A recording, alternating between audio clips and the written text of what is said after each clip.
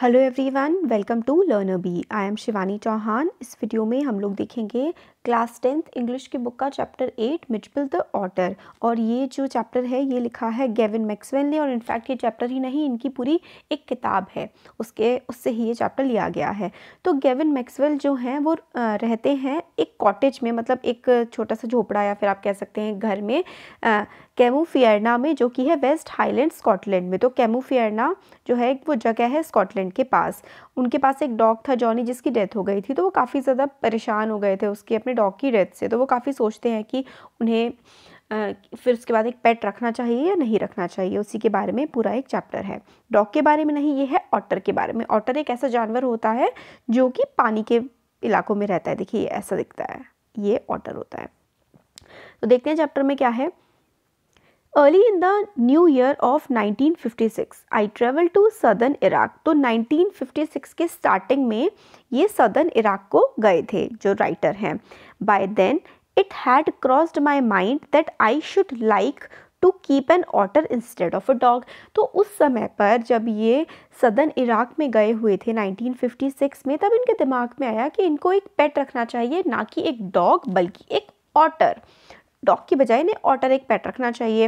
And that Camusfearna ringed by water a stone's throw from its door would be an eminently suitable spot for this experiment तो Camusfearna जहाँ पे वो रहते थे, वो एक रिंग्ड बाय मतलब वहाँ पर एक गोल सा या फिर आप समझ लीजिए वाटर स्पेस था, वहाँ पे काफ़ी सारा पानी था मतलब स्टोन थ्रो अब जहाँ पे उनका घर था, उससे अगर वो पत्थर फेंकेंगे मतलब स्टोन्स थ्रो का मतलब होता है काफ़ी ज़्यादा पास में था उनके घर से जहाँ पे वाटर अवेलेबल था। और जो आ, ये ये होते हैं ऑटर ये कहाँ रहते हैं? ये पानी में रहते हैं तो ये डॉग की बजाय एक ऑटर भी पाल सकते थे।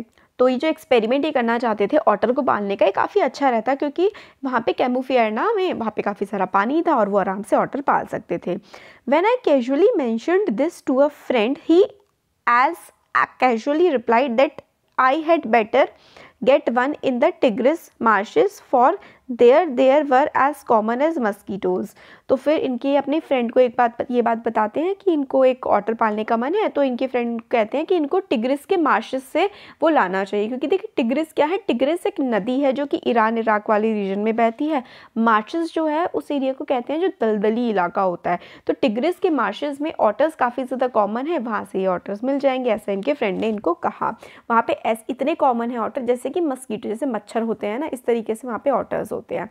And were often tamed by Arabs tamed मतलब डोमेस्टिकेट कर कर लिए जाते हैं, फिर पाले जाते हैं। अरब, जो अरब मतलब उस रीजन के लोग, जो होते हैं अरब कहते हैं तो जो अरब के लोग हैं, वो काफ़ी पालते हैं ऑटर्स को। We were going to Basra to the consulate general to collect and answer our mail from Europe तो इस समय पर ये कहाँ पर है? बसरा। बसरा वहाँ पे है, इराक में, है ना? तो बसरा में है ये तो कौंसुलेट जनरल जो जैसे कि फॉरेन की एम्बेसीज होती है ना? एम्बेसी क्या होती है जहाँ पे जैसे कि सपोज़ करिए इंडिया में काफ़ी सारे देशों की एम्बेसीज हैं। तो वहाँ के जो लोग हैं ना, जैसे इंडिया में सपोज़ करिए कि कोई अमेरिका के लोग रह रहे हैं काम के लिए, किस भी वजह से। तो इंडिया में दिल्ली में एम्बेसी होती है अमेरिकन एम्बेसी तो अमेरिका के लोगों को जो भी काम होगा, वो अमेरिकन एम्बेसी में जाएँगे। इसी तरीके से फ्रेंस फ्रांस की एम्बेसी जर्मनी की एम्बेसी हर देश में दूसरे देशों की एम्बेसी होती हैं। तो इसी तरीके से बसरा में भी कॉन्सुलेट जनरल के पास जाते हैं। कॉन्सुलेट जनरल एम्बेसी के एक ऑफिसर होते हैं। तो ये जो राइटर हैं, इनके पास जाते हैं और फिर देखते हैं क्योंकि राइटर तो यूरोप के होते हैं बट कुछ समय के लिए बसरा में होता है तो फिर पता करने चाहते हैं कि इनके पास कोई मेल तो नहीं आया है यूरोप से, क्योंकि ये मेल फ़ोन का ज़माना नहीं है नाइनटीन बहुत पुरानी बात है। At the consulate general we found that my friend's mail had arrived but that mine had not तो इनके जो फ्रेंड का मेल था, वो तो आ गया था कॉन्सुलेट जनरल के पास बट राइटर का मेल नहीं आया था। I cabled to England cabled का मतलब होता है, उस समय पर टेलीग्राफ भेजा जाता था। मतलब आप छोटा सा एक सेंटेंस लिख करके अपना मैसेज भेज सकते थे। तो वो होता था केबल तो केबल किया इन्होंने इंग्लैंड को। And when three days later nothing had happen फिर तीन दिन हो गए, कुछ भी नहीं हुआ आई ट्राई टू टेलीफोन तो फिर उन्होंने सोचा कि भाई टेलीफोन ही कर लिया जाए। तो भाई टेलीफोन पहले क्यों नहीं किया गया? क्योंकि भाई ये पुराना समय, टेलीफोन करना इतना आसान नहीं होता था तब, है ना? The call had to be booked twenty four hours in advance तो अगर आपको किसी को फ़ोन करना है तो चौबीस घंटे पहले आपको अपनी कॉल को बुक करना पड़ेगा। On the first day the line was out of order तो पहले दिन जो है लाइन वो ठीक से काम नहीं कर रही थी। सेकेंड डे एक्सचेंज बंद था क्योंकि कोई रिलीजियस हॉलीडे था। तीसरे दिन जो है, कोई और ब्रेकडाउन कुछ और दिक्कत आ गई थी। तो इनका फ्रेंड जो है, वो जा चुका था वहाँ से and I arrange to meet him in a week's time तो अपने फ्रेंड से ये एक हफ़्ते में मिलने भी वाले थे। Five days later my mail arrive और पाँच दिन बाद इनका जो मेल आना था वो आ गया। I carried it to my bedroom to read तो इनका मेल आ गया, फिर अपने बेडरूम में लेकर के जा रहे थे उसको पढ़ने के लिए। And there squatting on the floor तो स्क्वेटिंग का मतलब क्या होता है? कुछ ऐसा ना हिल टाइप का रहा था। मतलब फ्लोर पे ऐसा लग रहा था कि कुछ गड़बड़ जैसी हो रही है, कुछ स्क्वैट हो रहा है। स्क्वेटिंग मतलब जैसे कि वैसे देखिए स्क्वेटिंग का मतलब तो क्या होता है?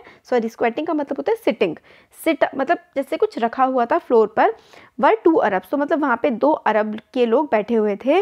बिसाइड देम ले अ सैक मतलब एक जैसे सैक कट्टा जैसा हो that squirmed from time to time sack होता है एक बैग और स्क्विम का मतलब होता है ट्विस्ट एंड विगल मैं सॉरी स्क्वेटिंग और स्क्विम में कन्फ्यूज़ हो गई थी। तो स्क्वैट का जो मतलब होता है स्क्वेटिंग का मतलब होता है सिटिंग ठीक है? स्क्वेटिंग का मतलब सिटिंग और स्क्विम स्क्विम का मतलब होता है ट्विस्ट मतलब टेढ़ा मेढ़ा हो रहा था। एक, देखिए क्या था ना, जब ये राइटर जो है अपने रूम पे पहुँचे, अपनी बेल को लेकर के तो इन्होंने देखा कि दो अरबी लोग वहाँ पर बैठे हुए हैं और ज़मीन पर क्या है, एक कट्टा रखा हुआ है।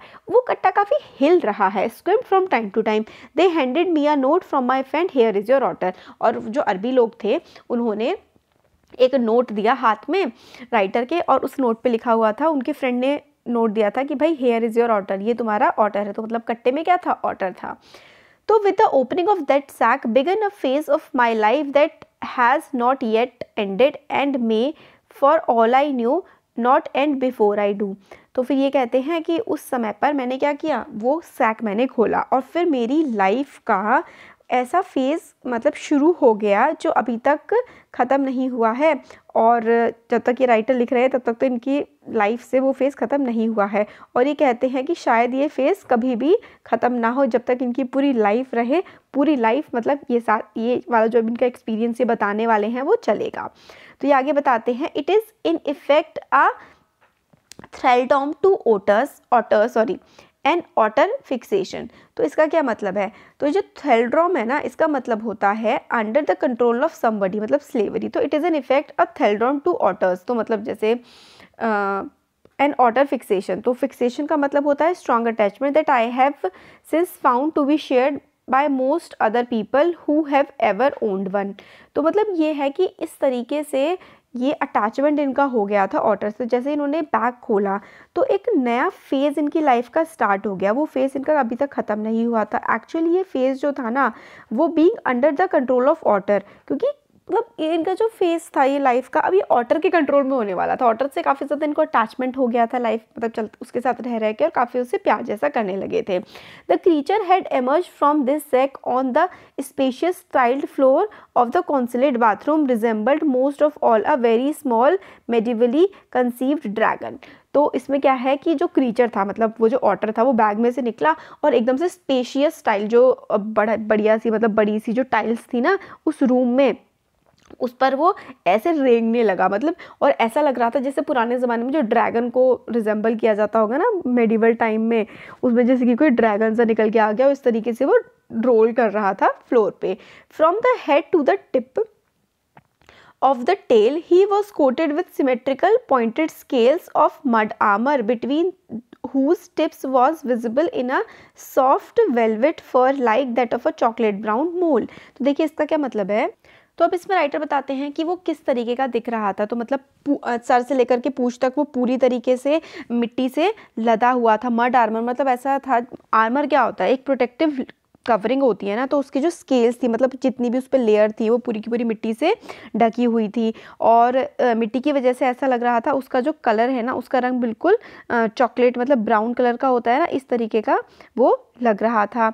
और फिर उसके बाद उसने खुद को हिलाया। जब उसने खुद को बहुत तेज़ हिलाया तो राइटर ने एक्सपेक्ट किया था कि बहुत सारी धूल निकलेगी और वो पूरा का पूरा साफ़ हो जाएगा। बट लगभग एक महीना राइटर को लगा उसको साफ़ करने में, पूरी तरीके से उसका ट्रू कलर बाहर आने में, उस ऑटर का पूरा एक महीना लग गया। एक महीना मतलब जा कर के एक महीने में उसकी पूरी मिट्टी साफ़ हुई थी। Mijbil I called the otter मतलब इन्होंने ऑटर का नाम रखा Mijbil in fact one of the race previously unknown to science तो मतलब जो मिजबिल था ना, इनका जो ऑटर था, वो ऐसी रेस थी ऑटर्स की जो पहले साइंस को पता ही नहीं थी। तो जूलॉजिस्ट ने उनका काफ़ी लंबा नाम दिया, लुटगेल, ये जो भी है, मैक्सवेल है ना, या फिर इसको मैक्सवेल्स ऑटर कहा जाने लगा। मतलब ये जो ऑटर का टाइप था ना, इसका नाम ही मैक्सवेल ऑटर दे दिया गया बायोलॉजिस्ट जूलॉजिस्ट के द्वारा. For the first twenty four hours Mijbil was neither hostile nor friendly तो स्टार्टिंग के जो चौबीस घंटे वो राइटर के साथ था, ना ही तो वो हॉस्टाइल था, ना ही तो वो उन पर अटैक कर रहा था या फिर अनफ्रेंडली था, ना ही वो दोस्त की तरह व्यवहार कर रहा था. He was simply aloof and indifferent तो मतलब अलूफ का मतलब होता है कीपिंग अ डिस्टेंस मतलब एक राइटर से थोड़ा अलग अलग था अलग अलग सा था और ज़्यादा उनकी तरफ़ ध्यान नहीं दे रहा था. Choosing to sleep on the floor as far as from my bed तो स्टार्टिंग के 24 घंटे तो वो बेड से दूर ही रहा और नीचे ही सोया ज़मीन पर। सेकेंड नाइट मिजबिल जो है वो बेड पर आ गया। In the small hours and remained asleep in the crook of my knees until the servant बॉटर tea तो अगले, एक दिन तो वो ज़मीन पर ही सोया। फिर अगले दिन अगले दिन रात को वो बेड पर चढ़ करके आ गया और राइटर के कोहनी जो होती है क्रूक्स ऑफ़ नी मतलब होता है बैक पोर्शन ऑफ़ नी कोहनी का पीछे वाला, कोहनी कह रही हूँ जो पैर के घुटना होता है ना, घुटने के पास वो आकर के सो गया और तब तक सोता रहा, जब तक सुबह जो सर्वेंट हैं, वो टी नहीं लेकर के आ गए मॉर्निंग में। During the day he began to lose his apathy and take a in much to in interest in his surroundings तो जो एपैथी थी, उसकी लैक ऑफ़ इंटरेस्ट था ना अनविलिंगनेस थी। वो सारी की सारी हट गई और आसपास के, पहले तो वो आसपास उसके क्या हो रहा है, उसको कुछ मतलब नहीं था। फिर धीरे धीरे वो आसपास की चीज़ों में काफ़ी इंटरेस्ट लेने लगा। I made a body belt for him and took him on a lead to the bathroom तो एक बॉडी बेल्ट मतलब जैसे बना दी बॉडी बेल्ट जैसे कि होती है ना डॉग्स की होती है, इसी तरीके की बेल्ट टाइप की इन्होंने राइटर ने बना दी अपने जो मिजबिल था इनका नेक के अराउंड उसके बांधने के लिए और उसको उसकी तरह। बाथरूम की तरफ़ ले गए। Where for half an hour he went wild with joy in the water plunging and rolling in it फिर वो बाथरूम में ले गए थे तो फिर प्लंज करा मतलब जंप कर रहा था पानी में रोल कर रहा था तो काफ़ी देर तक जो ऑटर था वो पानी में खेलता रहा। Shooting up and down the length of the bath tub under water and making enough slosh and splash for a hippo तो फिर वो स्प्लॉश एंड स्लैश मतलब वो छप छप छप छप करते हैं ना, इस तरीके से वो बाटअप में बैठ करके कर रहा था। This I was to learn is a characteristic of water every drop of water must be so to speak extended and spread about the place तो ये कहते हैं कि ऑटर के बारे में मैंने ये सीखा कि वो कितना छप छप छप छप करता है और जितनी भी जो पानी होता है, वो किस तरीके से उसको हर तरफ़ एक एक ड्रॉप को फैला देता है।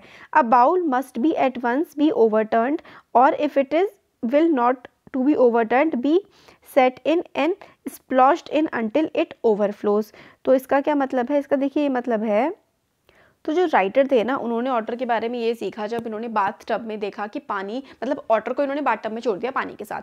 फिर देखा कि ऑटर पानी को हिलाया जा रहा है, हिलाया जा रहा है, हिलाया जा रहा है तो इससे इनको ये समझ में आया कि ऑटर के लिए हमेशा पानी को बहते रहना चाहिए। अगर उस ऑटर को दिखता है कि पानी बिल्कुल स्टिल है तो वो उसको छप छप छप छप करके बिल्कुल पूरी तरीके से हिलाता ही रहता है। पानी स्टैटिक नहीं होना चाहिए, रुका हुआ नहीं होना चाहिए एक ऑटर के लिए। उसको लगता है, अगर पानी रुका हुआ है तो वो बिल्कुल वेस्ट पानी है और वो उसको प्रोवोक करता है। मतलब उसको बिल्कुल गुस्सा सा करने लगता है पानी के ऊपर ऑटर अगर वो चल नहीं रहा होता तो या तो मूव नहीं कर रहा होता।